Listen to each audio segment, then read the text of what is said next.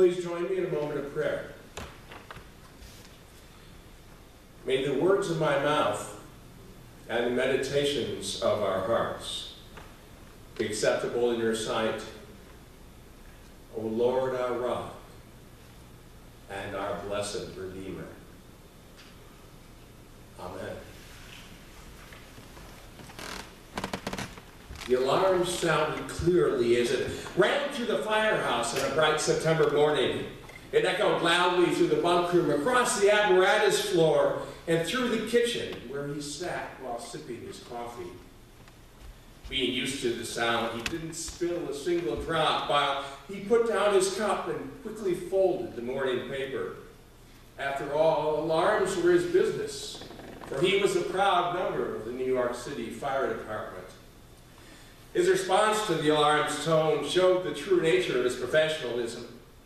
Without the slightest bit of wasted motion, he donned his protective gear and took his place on the hook and ladder's jump seat. While he showed no outward emotion, his mind was racing rapidly as it put together all the details of this particular alarm. It was at the World Trade Center again, a place where his company had been many times in the past. But the horrific nature of some of those calls to that particular building kept him from seeing this as merely routine. Within minutes, a repeated upgrade of alarm reinforced the special urgency of this one call. That urgency overpowered all the details coming from his radio. An airplane had struck one of the twin towers. Already, fires were visible on the upper floors. But the fire's intensity made no difference. As his company pulled up on the street by his building, there was no thought in his mind about his own safety. After all, there were people up there.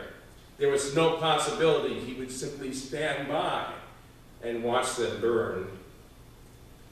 Jumping off the truck, he followed his lieutenant into the building and up the stairs. He knew exactly where they were going.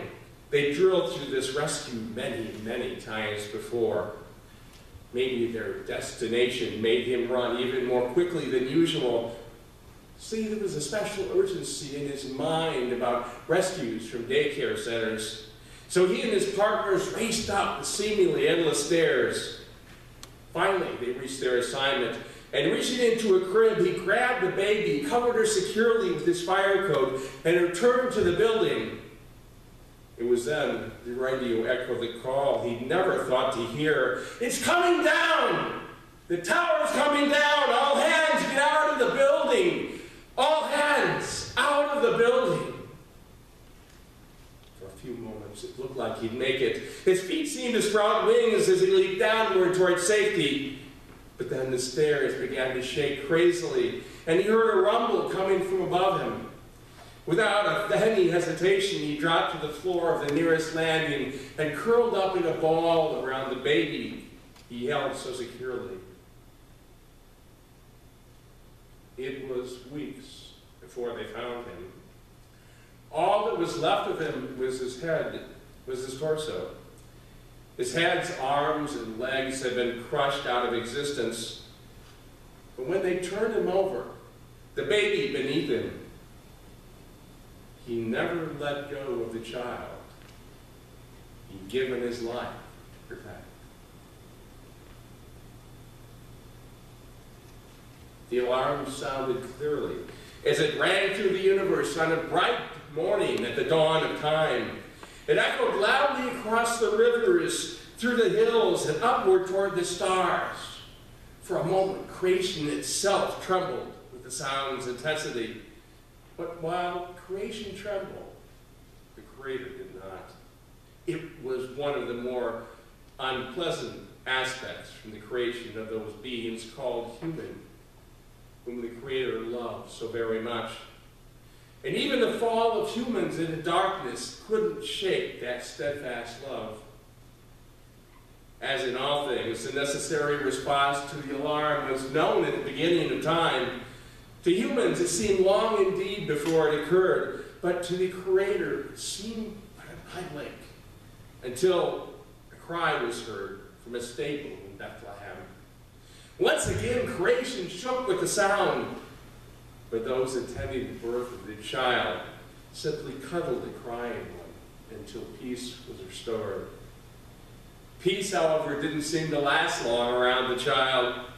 There was something special about the child, something stirring things up whenever the child was around. Wise persons and angels attended the child's birth. Humans of great knowledge marveled at the wisdom shown by the child, who was now a youth, during debates in the temple. Then the most incredible mixture of persons ever assembled began to follow the now fully grown child across the hills of Galilee and through the streets of Jerusalem. There was, of course, no doubt about the ending of those lengthy travels.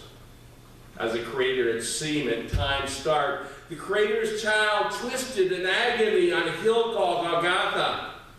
But even while the child's arms lay pinned by spikes, the child reached out to the humans who fastened him there. They reached out in forgiveness to the ones who'd driven the nails. They reached out in hope to the ones who twisted nearby. They reached out in life to all humans everywhere. And as they reached out, the child breathed the last breath.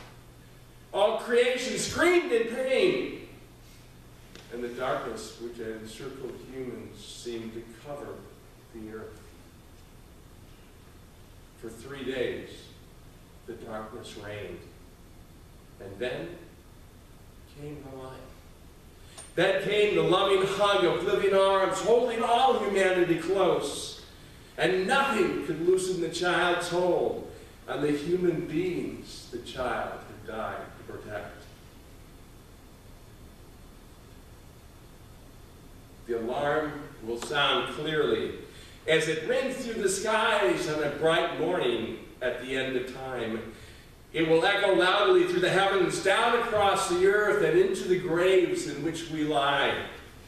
No trace of darkness will remain on that day, for in a blazing light will flash from the east as a child returns to bring the reign of the Creator's kingdom of everlasting light. No trace of sadness will remain on that day, and all the Creator's people will dance. We will laugh with joy with those we love, and all the saints in light as we behold the New York City firefighter pass a giggling child to a pair of proud parents. We will cry out with delight as we behold the child embrace the one once known as thief.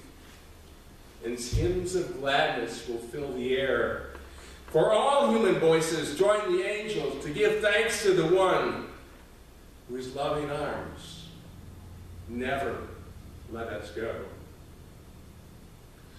All praise to the one who rescues us from darkness.